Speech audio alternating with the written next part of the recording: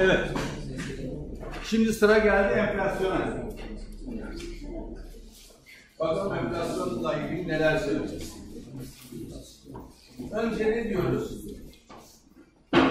Enflasyon için bir daha azalmış bunlar. Ee, fiyatlar genel düzeyinin sürekli artması. Devamlılık arz etmesi önemli burada.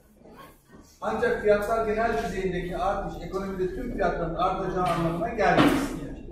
Enflasyonun hızla arttığı dönemlerde bile bazı mal ve hizmetlerin e, fiyatları sabit kalır hatta azalabilir. Bazı malların fiyatları yükseliyor, bazıları azalıyor. O genel olarak bütün mal ve hizmetlere baktığınızda yükselme görüyorsanız, devamlılık arz ediyorsa o zaman enflasyon var demek. Enflasyon oranı ortalama fiyat düzeyindeki yüzde değişim olarak hesaplanmaktadır. Türkiye'de TÜİK tarafından iki farklı endeksle hesaplanıyor. Bu işlemleri gene TÜİK yapıyor. Ee, ne iki farklı yöntem? Bir tüfe olarak açıklanan tüfeye dayalı, bir de tüfeye dayalı var. Açılımı ve tüfenin bilen var mı? Tüketici fiyat endeksi, öbürü de üretici fiyat endeksi. Evet, bir diğer hesaplama yöntemi de gayri saati yurt içi hasılat defterleri ki bunu daha önceki dersimizde anlattık. Yani şu yöntemi en alttakini daha önceki derslerimizde anlattık. Bayağı bunu anlamadım. Derledim. Kontrol. Şey daha demek.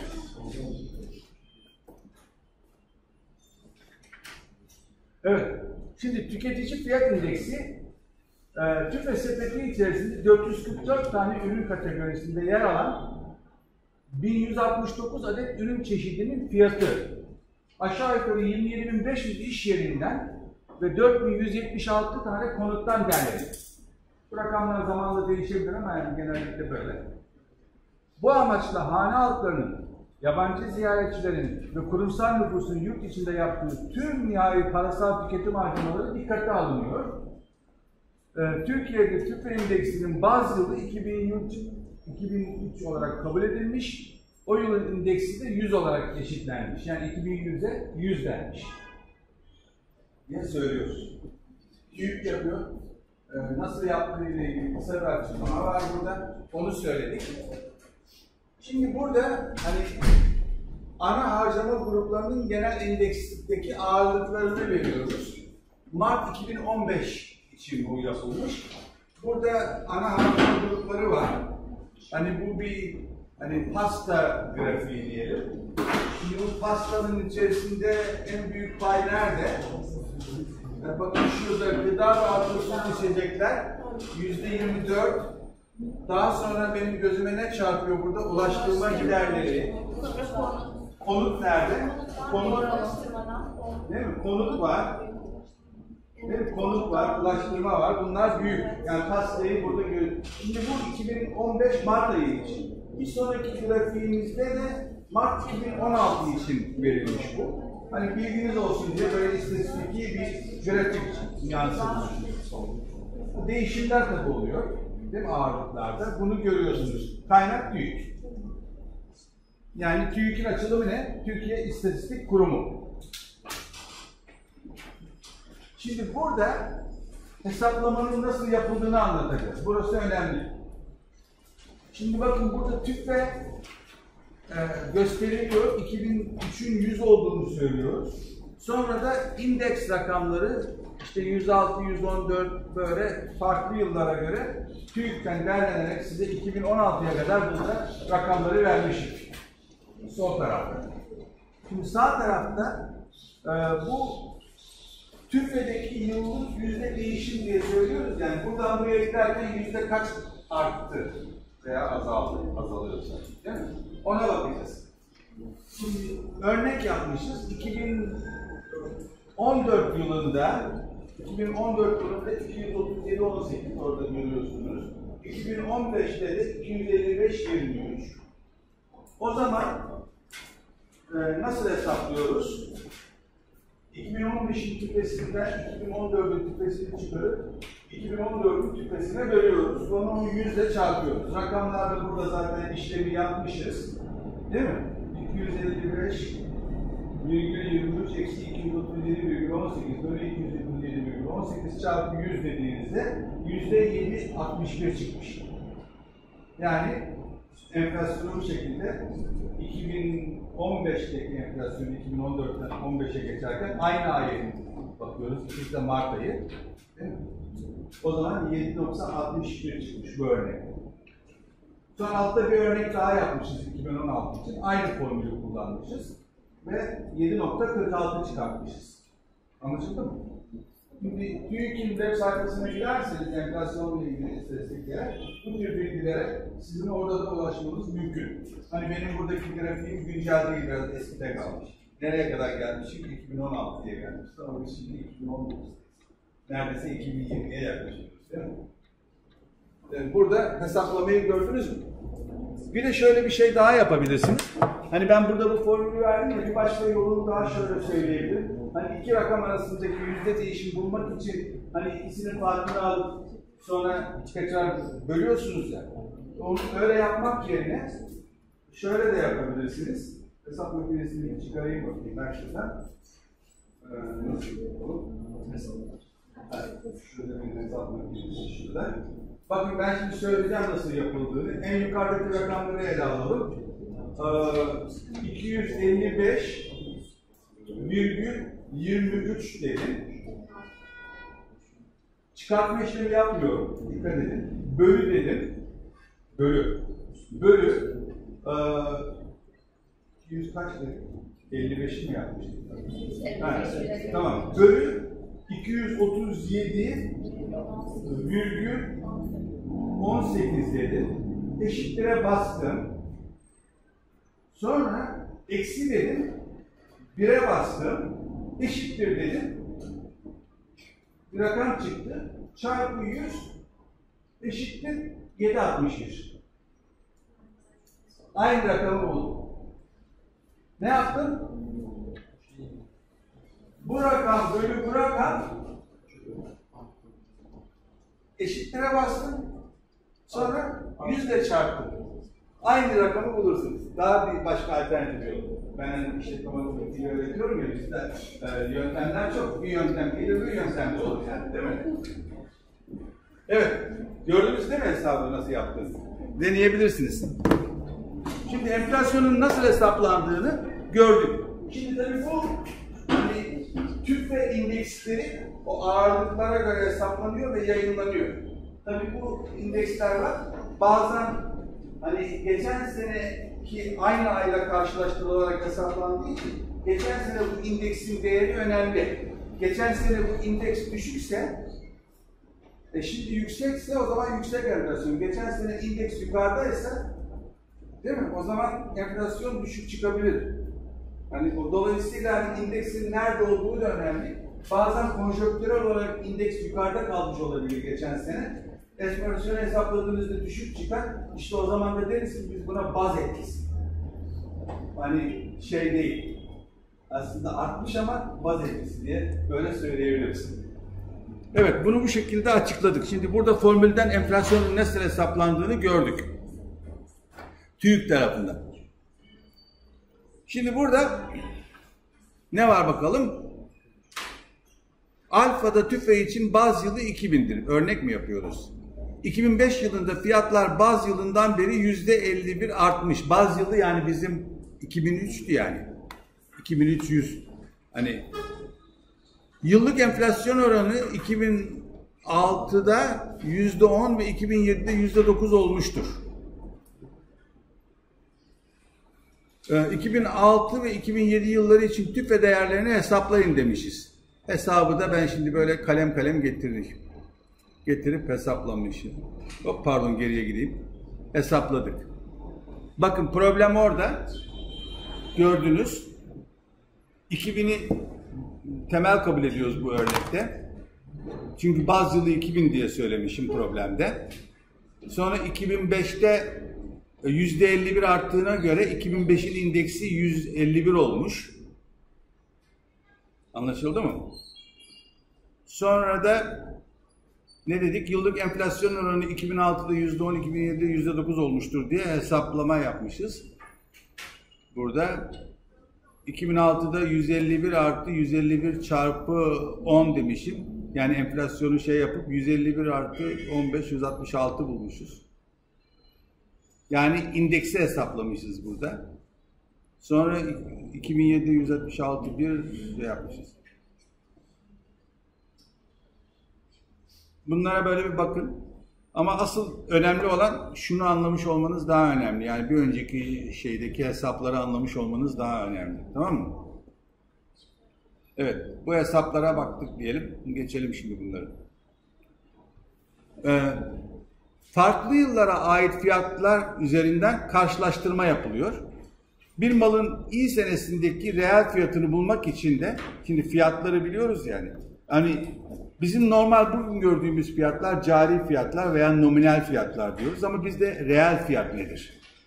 Hani işte reel fiyat ise burada formül olarak verilmiş cari fiyatın tüfeğe bölünmesiyle elde ediliyor. Aslında yani ne yapmış oluyoruz? Enflasyona göre ayarlama yapıyoruz. Reel fiyatı yaptığımızda. Tüfe enflasyon hesabında kullanılıyor yani. Enflasyona göre ayarlanmış gerçek fiyatlar. Yani bu fiyatı bunun yani ne bileyim bir çay 2 liraysa ama bunun reel fiyatı 2 lira olmayabilir. Enflasyon oranına göre bunu daha düşük gösterebilirsiniz değil mi? Bunun gibi. Şimdi burada bir örnek var. 1933 yılı demişiz. Bayağı gerilere gitmişiz.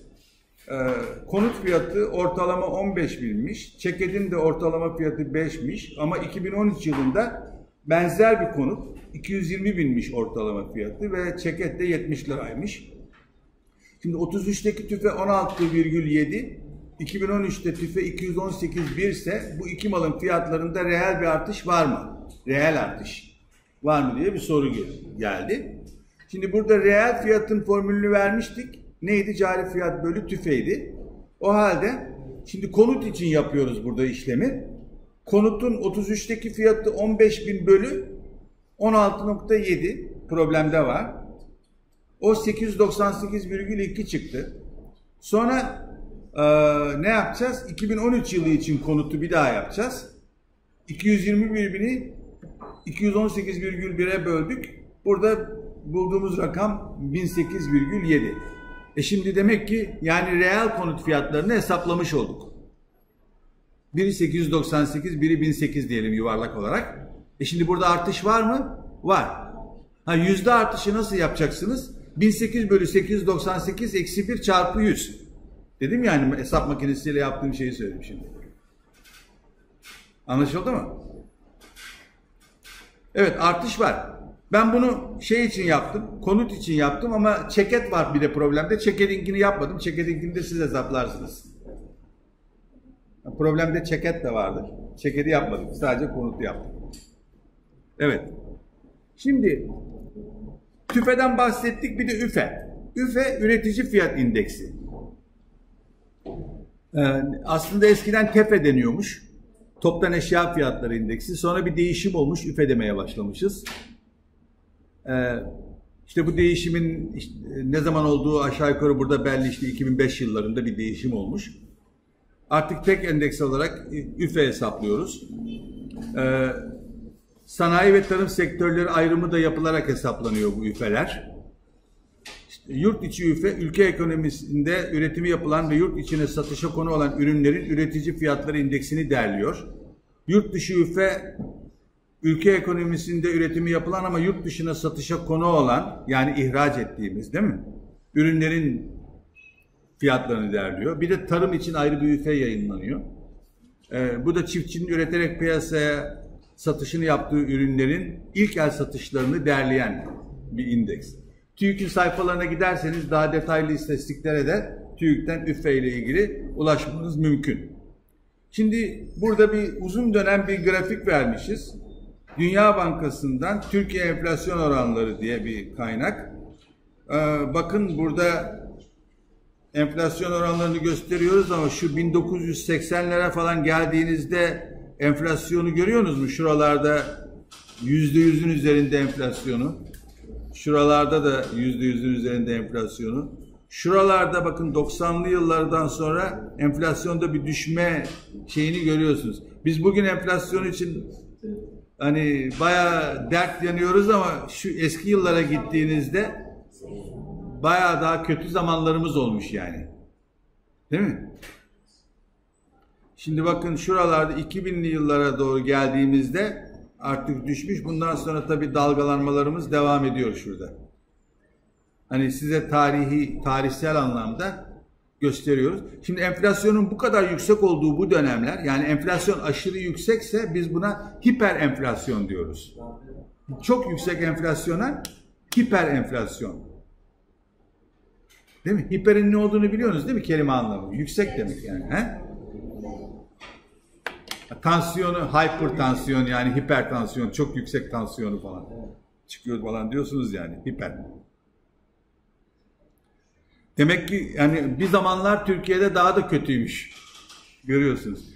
Hani o zamanlar Türk lirasında 6-0 vardı. 6-0 attık ya düştükten sonra.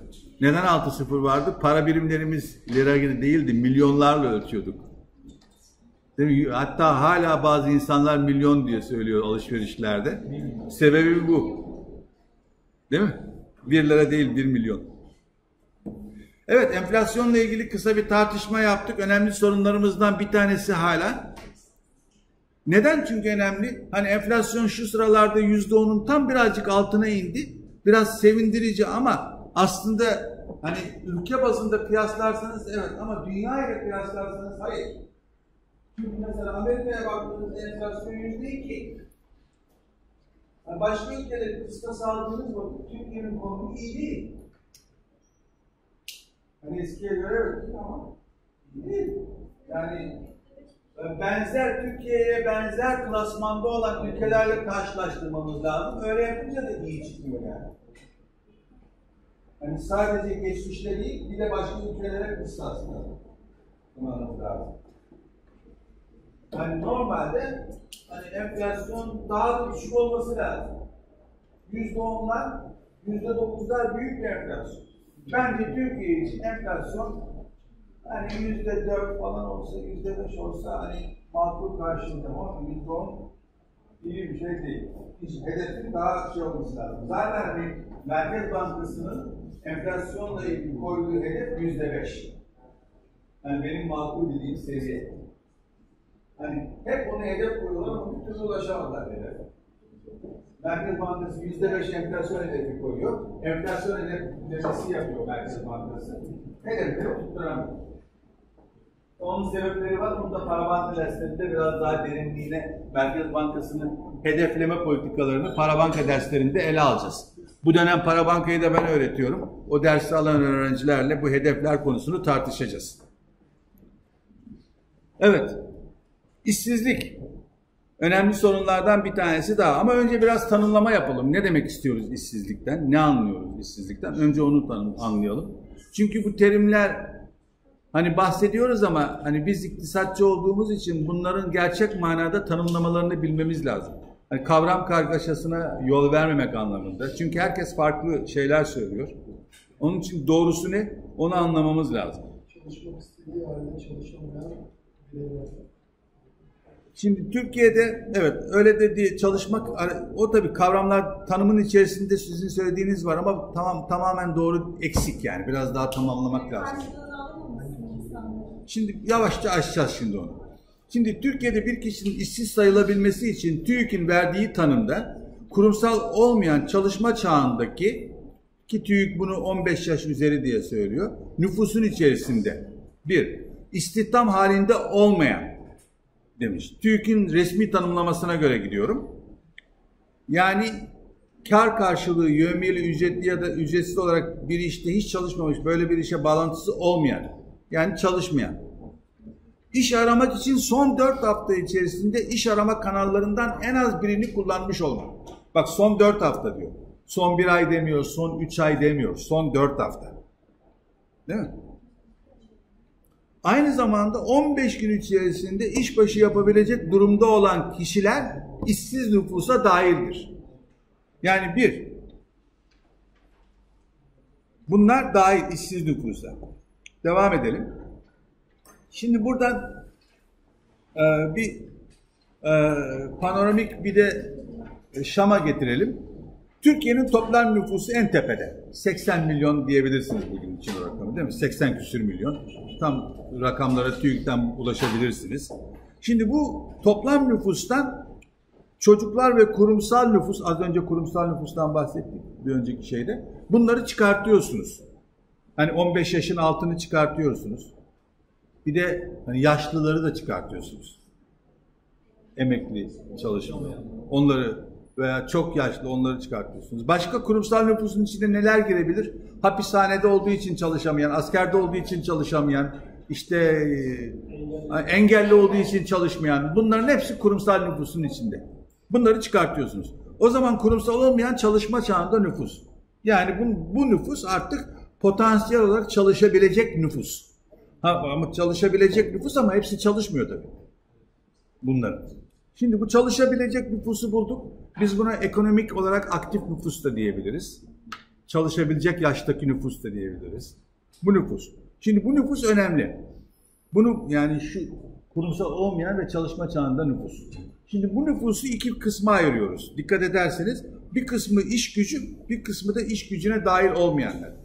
İş gücü diye ayırdık. Bir de iş gücüne dahil olmayanlar diye ayırdık. Yani iş gücüne dahil olmayanlar kimler? Çalışabilecek, hani fiziken çalışabilecek konumda olan ama kendi isteğiyle iş aramayan, iş gücüne dahil değil. Kim mesela? Benim eşim.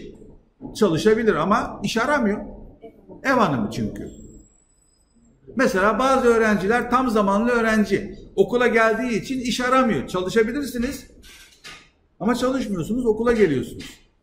Değil mi? Bunlar ne oluyor? İş gücüne dahil olmayanlar bu grubun içerisinde. Örnek olarak hani e, çalışmayan öğrenciler, tam zamanlı öğrencileri verdik, ev hanımlarını verdik. Daha başkalarını da ekleyebilirsiniz. Bunlara. Peki iş gücüne, iş gücü de iki kısımda. Bir çalışanlar yani istihdam edilenler, bir de iş arayıp da iş bulamayanlar işsizler. Yani iş yani işsizlerle istihdamı topladığınızda yani neyi buluyorsunuz? İş gücünü buluyorsunuz. İş gücüyle iş gücüne dahil olmayanları topladığınızda kurumsal olmayan çalışma çağında nüfusu buluyorsunuz. Ona çocukları ve kurumsal nüfusu eklediğinizde de Türkiye'nin genel nüfusunu buluyorsunuz. Anlaşıldı mı? Şimdi bunu söyledik. TÜİK'in tanımına göre iş gücü, ekonomik mal ve hizmetlerin üretimi için emek arzında bulunan çalışma çağındaki 15 artı nüfus. Amerika'da mesela bu 16 üzeri. Hani ülkeden ülkeye bazı farklılıklar var. Bazı ülkeler mesela diyor ki son 4 hafta diyor bizim TÜİK. Bazı ülke diyor ki son 3 ay içerisinde diye tanımlıyor. Hani ülkeden ülkeye bazı farklılıklar görebilirsiniz. Ben şimdi Türkiye'nin şeylerine göre gittim burada. Rakamlarına göre. Evet. Şimdi iş gücüyle ilgili çalışan ve işsizlerin toplamıdır dedik. Dolayısıyla iş gücü eşittir çalışan artı işsiz. Nüfus eşittir. Yani buradaki nüfustan yani o çalışabilecek nüfustan kastımız. İş gücü artı iş gücüne dahil olmayanlar. Şimdi çalışmak isteyen ya da iş aramaktan vazgeç. Yani iş gücüne dahil olmayan bir de çalışmak istemeyen ya da iş aramaktan vazgeçen kimseler de var. Onu birazcık açıklayacağız. Şimdi burada geldik bu açıklamaya. Daha detaylı açıklamalar var. İş gücüne dahil olmayanlar. İş aramayıp çalışmaya hazır olanlar. Çeşitli nedenlerle iş aramayan ancak iki hafta içinde iş başı yapmaya hazır olduğunu belirten kişi. Hani son dört hafta içinde iş aramıyormuş. Ama ona bir soru soruyorlar. Diyorlar ki hani şöyle bir iş olsa çalışır mısın? Çalışabilirim. Hemen başlayabilirim. O zaman onu o nüfustan bahsediyoruz burada. İş aramayan ancak iki hafta içinde iş başı yapmaya hazır olduğunu belirten kişiler. Şimdi burada önemli bir şey var. İş bulma ümidi olmayanlar. Burada açıklaması daha önce iş aradığı halde bulamayan ve kendi vasıflarına uygun bir iş bulabileceğine inanmadığı için iş aramayan ancak iş başı yapmaya hazır olduğunu belirten kimse. Yani bunlar o dört hafta boyunca iş aramışlar, bulamamışlar. Bakmışlar ki yani arıyor arıyor bir türlü bulamıyor. Uğraşıyor uğraşıyor bulamıyor. En sonunda hani cesareti kılıyor. artık iş aramaktan vazgeçiyor. Şimdi iş aramaktan vazgeçtiği anda o kimse işsiz sayılmıyor. İşsiz sayılması için ne olması lazım? Aktif olarak iş arıyor olması lazım. Ama sen iş aramaktan vazgeçince işsiz sayılmıyorsun. O zaman ne oluyor? Cesareti kırılmış, artık iş aramaktan vazgeçmiş kimsesin sen. O zaman sen iş gücüne dahil de değilsin. İş, iş aramıyorsun. İş gücüne de dahil değilsin. İş gücüne dahil olman için ne yapman lazım? İşsiz olman veya çalışan olman lazım. Ne çalışansın ne de iş arayansın. O zaman iş gücüne de dahil değilsin. Değil mi? Anlaşıldı mı? Şimdi bu tanımlama böyle. Şimdi Türkiye işsizlik rakamlarını açıkladığında bazı gazeteciler yazıyor işte diyor ki bunlar yanlış. E neymiş? Hani bu cesareti kırılanlar da aslında işsiz. Bunlar yani iş gelse önlerinde çalışmaya hazır. Bunlar sayılmıyor. Dolayısıyla işsizlik rakamları düşük gösteriliyor diye bazıları söylüyor. Anlaşıldı mı? E şimdi burada aslında kavram kargaşası var. Resmi tanımlama bu. Resmi tanımlamaya göre işsizlik açıklandığına göre bu resmi tanıma göre gideceksiniz. Alternatif tanımlama yaparsanız bunları da dahil edersiniz. O zaman başka bir işsizlik tanımı çıkıyor. O zaman yeni tanıma göre yapmak lazım. Yani o piyasada bazıları çıkıp böyle işte gerçek değil, o bunlar da dahil edilmemiş de bunu da dahil edelim de bilmem ne. O zaman tanımı değiştir. Resmi tanım neyse biz ona göre tartışmamız lazım. Ha, TÜİK bu resmi tanımlamada da hani ahlaksız, yanlış bilgi yapıyorsa ona ben bir şey diyemem. O ayrı bir tartışma konusu. Ama biz hani bu rakamlara baktığımızda resmi neyse onu yapıyoruz. Aslında TÜİK'in yaptığı çalışmalarda bu alternatiflere göre yapılan işsizlik hesapları da var. Aslında dört grup işsizlik hesabı var ama bu ders için o detaylara girmeyeceğim. Dört tane ayrı tanımlama çerçevesinde TÜİK'in tanımladığı işsizlik rakamları var. Onları daha detaylı istatistiklerde TÜİK açıklıyor. Biz iktisatçı olarak zaten onlara bakıyoruz yani. Biz onlara o bilgilere sahibiz. Hani onlarca zihlenmiş değil yani. Ama bu ders için bu fazla. Diyelim o detaylara girmeyelim. Anlaşıldı mı? Ama resmi tanımlamanın ne olduğunu da bilelim. Bu resmi tanımlama bazen değişebilir. Mesela eskiden hani Türkiye'de bu hesapları yaparken son 3 ayda iş arayan diye hesap yapıyordu. Daha sonraki hangi yıl olduğunu bu yıllarda 3 ay yerine 4 haftaya değiştirdiler. Türkiye'de. E şimdi o zaman metot değişti. Metot değiştiği için çok eski yılların işsizliğiyle bugünkü işsizliği karşılaştırmak da birazcık mantıklı değil. Çünkü eski metot yeni metot. O zaman karşılaştıramazsın. Yani ile armut karşılaştırmak gibi bir şey oluyor böyle. Eski metotla yeni metot. Ama böyle bir metot değişikliği oldu. Oldu. Ne zaman oldu? Şu an unuttum. Ama neden dolayı oldu onu ben biliyorum. Çünkü Avrupa Birliği'ne katılma çerçevesinde Avrupa Birliği'nin koyduğu normlara, standartlara uymak istiyordu. Avrupa Birliği de 4 haftayı kullandığı için biz de onlarla e, bunun içinde olmak anlamında 4 haftaya değiştirdik. Dolayısıyla Türkiye ile Almanya'yı karşılaştırdığınızda, İtalya'yı karşılaştırdığınızda aynı tanım üzerinden karşılaştırma yapma olanağınız ortaya çıkmış olur. Anlaşıldı mı? Evet. Şimdi başka tanımlar daha var burada. Bu tanımları da okuyabilirsiniz. Kendi kendine açık bazı şeyler ama bazılarını ben böyle hızlıca geçeyim. Mevsimlik çalışanlar mevsimlik çalışması nedeniyle iş aramayan ve işbaşı yapmaya hazır olmayan, ev işleriyle meşgul olan örneklerimizde geçti. Kendi ev işleriyle meşgul olması sebebiyle iş aramayan. Öğrenciler örneklerimizde geçti. Emekliler, bir de çalışamaz halde işte bedensel özürlüler, ve diğer diye burada bazılarını daha biraz açmışız. Bunları da görüyorsunuz. Anlaşıldı mı? Şimdi buradan devam edelim. Tanımlamalarımızı yaptık. Şimdi yeni tanımlamalarımız ve formüllerimiz var. İş gücüne katılım oranı önemli. İşsizlik oranı bir de istihdam oranı. Üç tane oran hesaplayacağız. Bunların formüllerini de vermişiz. İş gücüne katılma oranı neymiş? İş gücü bölü nüfus. Tabii yüzle çarparsanız da yüzde olarak elde edeceksiniz. Her birini yüzle çarpıp yüzde olarak ifade etmek mümkün. İşsizlik oranı ve istihdam oranı. Bu formüller burada verilmiş. Burada bir sorunumuz var mı? Formülleri ezberleyin. Bu formülleri iyi bilmeniz lazım. Şimdi bunu biliyorsanız bu formüllere göre şimdi bir dahaki tabloda örneklerimiz var. Burada örneklerimiz geldi. Bu formülleri uygulayacağız. Şu son üç tane var ya, iş gücüne katılma oranı, istihdam oranı, işsizlik oranı. Üçünün hesaplanması. Formüllerimizde bir önceki sunum sayfada vardı. O formülleri uyguladığınızı düşünelim. Burada da ben istatistikler vermişim. İşte iş gücü, istihdam falan diye. Mesela en son yıla bakalım. En son yıla baktığımda 15 yaş üzeri nüfus 58 milyon 366 bin milyon cinsinde bunlar. Çünkü orada bak bin yazıyor ya. 58 milyon. Ama iş gücümüz kaçmış? 29 milyon 565. Nasıl elde ettiğinizi daha önce açıkladık bunu. Kimleri çıkardık?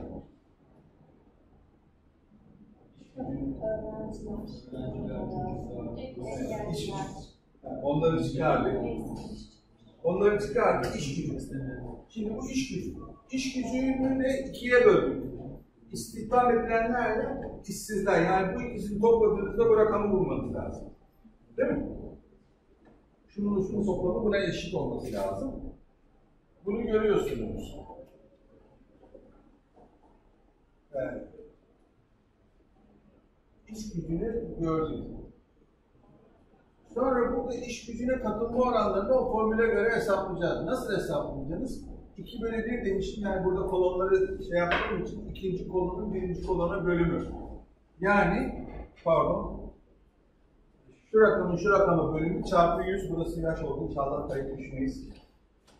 Ee, bu şekilde 50.65 çıkmış. Yani yüzde olarak yani yüzde 50 yüzde 51 gibi yaklaşık. Sonra şu rakam istihdam oranı o formüle göre hesaplanmış. İstihdam oranının ne yapmasını hesapladık? 3 bölü 1. Yani şu rakamın şu rakama bölünüp yüzde çarpılması ve işsizlik oranı bu bahsettiğimiz sene için o işsizlik rakamımız şu. Bu rakamı neye bölmüşüz? İş gücüne bölüyoruz. Değil mi? Şuna bölerek çarpı 100 diyoruz. Onu da o zaman yüzde 11,1 çıkıyor. Anlaşıldı mı bu konu? Burada formüllerimizi gösterdik. Bu formüllerle uyumlu olarak da bu hesaplamaları yaptık. Bu hesaplamaları yapabilmeniz lazım. Neymiş bu hesaplamaları? Yapabilmeniz lazım. Şimdi daha başka örnekler de gelecek ileride. Bir daha benzer bir örnek daha gelecek ileride. Ona da bakacağız. Şimdi eksik istihdam diye bir kavramdan bahsediyoruz. Bunlar da alternatif bazı tanımlamalar. İstihdamda olan fakat 40 saatten daha süre çalışmış olup daha fazla süre çalışmak istediğini belirten ve mümkün olduğu takdirde daha fazla çalışmaya başlayabilecek kimse. 40 saat çalışmak istiyor ama 30 saat çalışmak durumunda. Belki hani iş yeri diyor ki ya hani haftada ben 30 saat iş verebilirim sana, 40 saat veremem. Belki işler kesat, en azından sana 30 saatlik iş veriyorum diyor mesela. Böyle olabilir. Tabii o kişi orada 30 saat çalışıp başka bir ikinci iş bulup ikinci işte de 10 saat çalışıp 40'a çıkartabilirse ne ala. Bazı kimseler iki işte falan çalışıyor. Bazı kimseler iki işte çalışıp 40 artı 20 yapıp 60 saat çalışan falan da var yani. Bazı kimseler. Yetersiz istihdam, istihdamda olan son 4 hafta içinde mevcut işini değiştirmek için veya mevcut işine ek olarak bir iş aramış olan ve böyle bir iş bulduğu takdirde 2 hafta içinde çalışmaya başlayabilecek olan kimselere deniyor. Bunlar tanımlama. Ezberden başka çaremiz yok. Şimdi önemli bir takım daha e, işsizlik türü gruplandırmalarına geldik. Bunlar önemli bunları anlamamız. Friksiyonel işsizlik, görsel işsizlik, konjonktürel işsizlik. Üç tür işsizlikten bahsediyoruz. Friks, e, konjonktüreli yani demin grafiklerimizde de görmüştük. Yani dalgalanmalar var ya gayet sarsın, sarsın, Şimdi bu durgunluk dönemlerindeki işsizliğin artışına konjonktürel işsizlik. Yani o hani grafiğimizde aşağı doğru iniyordu yani. Tepeden aşağı indiğimiz grafik vardı. O dönemlerde ortaya çıkan işsizlik neymiş? Konjonktürel işsizlik. Yani şu anda bizim işsizliğimiz hani yüzde on üç, yüzde bilmem ne yani yüksek ya. Neden? Çünkü ekonomi aşağıya inişe geçti, işsizlik arttı. Yani bundan dolayı meydana gelen işsizlik konjonktürel işsizlik. Şu anda Türkiye'nin içinde bulunduğu durum. Konjonktürden dolayı işsizlik artmış durumda. Neden? Çünkü ekonomi aşağıya inişti. Konjonktürel işsizlik bu. Friksiyonel işsizlik. Burada tanımlaması var. İstediğin iş gücü piyasasının normal işleyişinden dolayı ortaya çıkan kısmı kısa dönem iş ve geri eşleşmesi sorunu belirtmek için kullanılıyor. Bunu birazcık açalım. Bir firma var diye, eleman arıyor. Hani bir pozisyon açıldı, eleman arıyor. E, birileri de hani pozisyon arıyor. Bir kere firma, ya müracaat ediyorsunuz, firma bir kere ilk geleni hemen almıyor. Bir zaman geçiyor, iki hafta, üç hafta. Biriyle mülakat yapıyor, öbürüyle mülakat yapıyor, onu değerlendiriyor, bunu değerlendiriyor. Düzgün birisini almıyor. Ama o arada 3-4 hafta, neyse o zaman, 2 hafta, biraz. Yani firma o pozisyonu dolduramadığı için orada da bir işsizlik söz konusu. Anlaşıldı mı? Bu normal bir şey. Hani niye ilk geleni alsın ki? Belki daha iyisini mülakat yapacak bir sonra. Daha iyisini bulacak. Yani sırayı, değil mi? Sıra yanlış olabilir. Mülakat. Burada bir hani normal, makul, anlaşılabilir bir sebepten dolayı bir işsizlik söz konusu. Bir de şöyle düşünün. Biz hani iş arayan biziz. Gidiyoruz. A firmasına müracaat ediyoruz. B firmasına, C'ye müracaat ediyoruz. Bir sürü firmalara müracaat ediyoruz. Birisi bizi mülakata çağırıyor gidiyoruz. Öbürü çağırıyor gidiyoruz. Öbürü çağırıyor gidiyoruz. İlk mesela A firması beni çağırdı. Bana bir de teklif yaptı. Evet sana iş veriyorum. Hemen ben hemen teklifi kabul edecek miyim bakalım? A firması. Bak, niye kabul edeyim? B firmasıyla da iki gün sonra bir mülakatım daha var. Beklerim. A firmasına derim ki ben bir işleyeyim bana biraz zaman ver. B firmasıyla yaptım. B firması daha güzel bir teklif yaparsa B'yi kabul edeceğim çünkü. Bu da normal bir şey. Değil mi? Her ilk bulduğunuz işe, ilk bu aldığınız teklife evet demek zorunda değilsiniz. Bekleyeceksiniz. Yani kendinize daha güzel teklif eden, aradığınız şartlara uyumlu iş açısından. Bu da normal bir şey. İşte bu durumlarda ortaya çıkan işsizlik, geçici işsizlik neymiş? Friksiyonel işsizlik. Örneğini açalım. Anlaşıldı mı? Friksiyonel işsizlik bu. Bu normal. Friksiyonel işsizliğin olması normal. Mantıklı, hani makul karşılayabiliriz.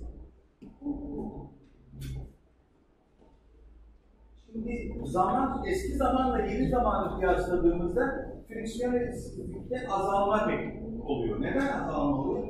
Eskiden daha da zor. Çünkü internet yoktu. Hani akıllı telefonlar, şunlar bunlar hiçbir şeyler, bilgisayarlar yaygın değildi. İş ilanları gazetelere veriliyordu. Çarşaf çarşaf gazete ilanlarında kısa ilanlara millet bakar. Oraya eder, buraya eder. Hani o zaman proses daha da şey yani yavaş çalışıyor. Hani bu bekleme süreleri uzuyor. Bulacaksın, gazetelerde arayacaksın, bilmem. Şimdi internetten bir giriyorsun, kariyerden net diyor bilmem ne. Bak, buluyorsun, müracaat ediyorsun. Daha hızlandı. Teknoloji hızlandırdığı için prosesi hani bu friksiyonel işsizlik birazcık düşmüş olması lazım uzun dönem. Yani teknolojik gelişmeler bunu düşürebilir. Ki bunu biz yaşadık. Yapısal işsizlik bu birazcık daha değişik. İşsizliğin ekonominin yapısındaki değişimden dolayı ortaya çıkması. Belli endüstrilerde kayıplarla sonlanan kısım. Veya sektörlerin yapısından kaynaklanan bir durum. Örnek. Türkiye'ye bakalım mesela. Ayakkabı sektörü diyelim. Eskiden ben hatırlıyorum, bir sürü yerde ayakkabıcılar vardı. Dükkanlar, ayakkabıları yaparlardı, atölyelerde, üretimler yapılırdı. Onlar satılıyor. Böyle sektör böyle. Bazı ayakkabı fabrikaları da vardı ama üstünde elle yapılan imalathaneler var. Şimdi nerede ayakkabı fabrikaları? Pek fazla yok ayakkabı fabrikası. Hele o bir kategoriler hiçbir yok. Ayakkabı işçilerine ne oldu? Pek fazla ayakkabı sektöründe çalışan işçi yok eski dönemlere göre. Yani bir sürü arkadaşım vardı eskiden ayakkabı Şimdi yok öyle ayakkabıcı arkadaşlar ya. Sizin arkadaşlarınız da yok. Ne oldu bunlara? Ne oldu? Rekabet var ya dünyada. Çin'den bir sürü ayakkabılar Türkiye'ye geldi. Çin ayakkabıları Türkiye'ye istila etti. Spor ayakkabılar grubunda. Herkes onları alıyor. Türkiye'deki ayakkabılara talep yok. Bakın ayakkabılarımızda Reeboks'lar, Converse'ler, Adidas'lar, bilmem neler. Şimdi ne oldu? Ekonomik bir değişim oldu. Yani uluslararası rekabet Türkiye'de ayakkabı sektörünü etkiledi. Artık yerli üretimde azalma olacak tabii. Ayakkabı fabrikaları kapanıyor. Ayakkabı fabrikaları kapanınca ayakkabı fabrikalarında çalışan işçiler işsizliğe gidiyor. İşte bu yapısal işsizlik. Bu neymiş? Bu yapısal işsizlik. Ekonomideki yapısal değişimden kaynaklanan bir işsizlik. O zaman ne olması lazım? İşte bu tür kimseleri eğitilip ayakkabı sektöründe değil de başka bir sektörde çalışabilecek şekilde mesleki eğitimlere tabi tutulması lazım ki bunun üstesinden gelelim. Hala ben ayakkabıcı olacağım diye direnirsen de kolay kolay yıkılamazsın yani. Böyle bir değişim var. Öyle değil mi? Dolayısıyla bizim ne yapmamız lazım? Hani bize icap ederse mesleğimizi değiştirmeye hazır olmamız lazım. Hele hele bu modern çağda yeni meslekler için de geçerli bu.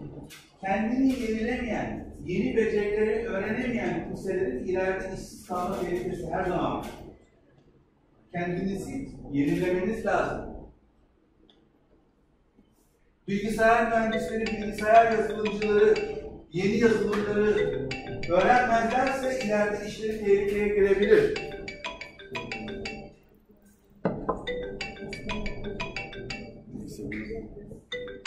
Kapatayım da sonra.